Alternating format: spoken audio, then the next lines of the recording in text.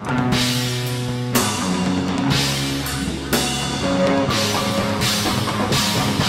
going on, everybody? I'm Noah from PhoneDog.com. Uh, today, Apple made waves in the cell phone industry and in the uh, consumer electronics business in general by unveiling a preview of the new iPhone operating system, iPhone OS 3.0. The operating system is available right now, actually, as a beta to registered developers only, and will be released to the general public in its final version sometime this summer. That's literally what Apple said. It'll be available this summer. So you know, we don't know when. Uh, historically, you know, for the the whole long history of two years that the iPhone's been out, uh, they released new hardware, new software, and stuff uh, in June. So look for it, you know, sometime between now and then. Uh, no mention of new hardware at today's press event uh, that Apple held on their campus in Cupertino, but uh, it would stand to reason that the you know Apple might be coming out with another revamped version of the iPhone this June. Again, the original iPhone released uh, two years ago in June, and the new iPhone 3G released last year.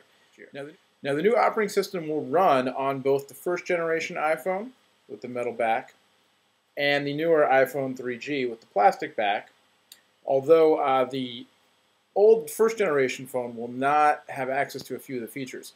Also, the upgrade will be available for iPod Touch second generation owners for $10, and that also will be lacking a few features. Uh, lots of stuff unveiled today. The the big news. It's funny because a lot of the big news was stuff that you know non-Apple smartphone owners have been saying. You know, we've been able to do that for years.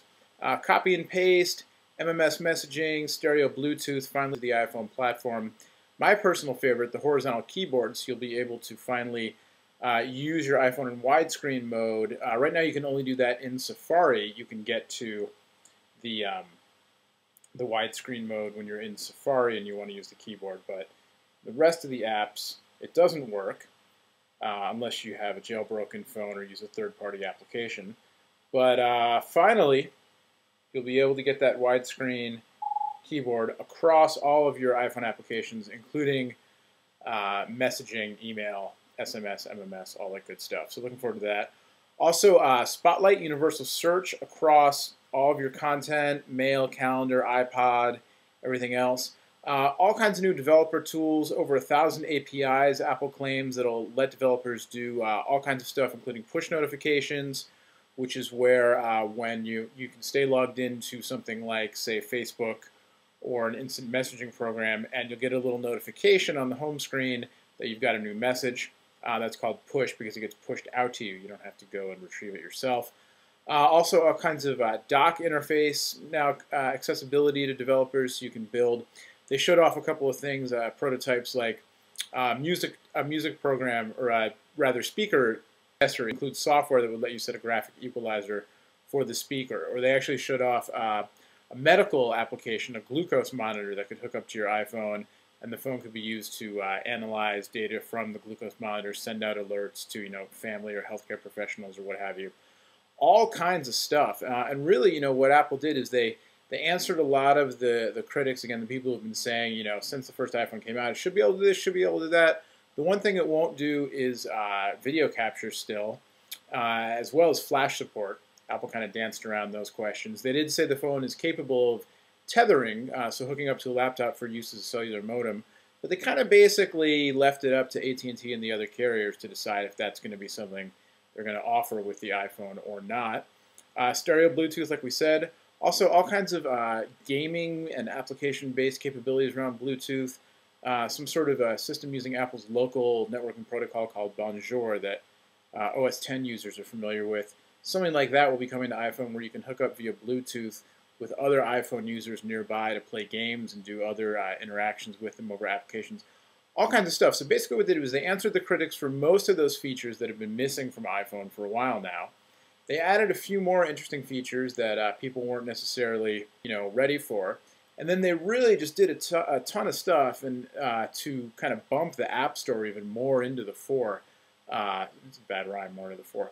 More into the spotlight when it comes to the iPhone, iPod Touch development environment. So basically what you've got is all these other smartphone platforms, BlackBerry, uh, Microsoft Windows Mobile, you know, everybody else kind of clamoring to get their own app stores together. Even though you've been able to buy apps for these platforms for years, the App Store has been huge. Apple's model of you know getting it all in one place for consumers, making it easy to use, making uh, you know being able to market it and everything really taken off. So other other smartphone plat- smartphone platforms and vendors are trying to replicate this now, and now Apple's just bumped it up um, with all these new APIs, all this new functionality, and also now uh, in-app commerce opportunities. So basically.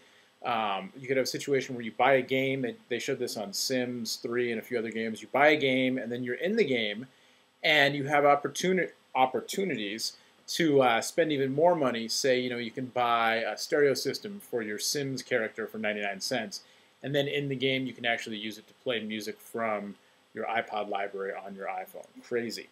Uh, is it good? Is it bad? I'll leave that up to you. I personally don't plan to spend 99 cents. Sims character can have a boombox, but that's just me. I don't know. I'm kind of cheap when it comes to outfitting my virtual characters.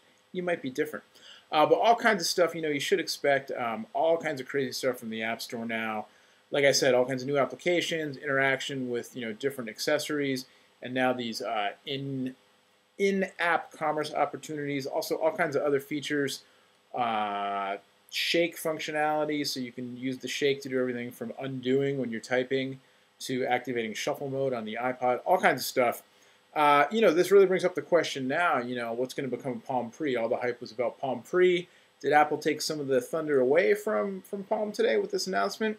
We'll have to see. I'm still looking forward to getting Pre in my hands, and now I'm looking forward to getting the iPhone OS 3.0 in my hands as well. And when I do, as soon as I get it, you'll see it. My promise. All right? So much, much more on the new iPhone OS, iPhone 3.0. Again, it's available to developers today as a beta. It'll be out to consumers this summer. Uh, it'll work on both generations of iPhones, uh, but the older version you won't get, what they say, you won't get MMS messaging and you won't get stereo Bluetooth. Uh, apparently, there may be a Bluetooth solution for iPod Touch, which is really interesting. It'll be a $10 upgrade for iPod Touch owners, apparently. And, uh, you know, like I said, once I get it, you'll hear all about it right here. So until next time, I'm Noah from PhoneDog.com. I'm going to go back online and read more about this stuff because, you know, that's what I do. We'll see you next time.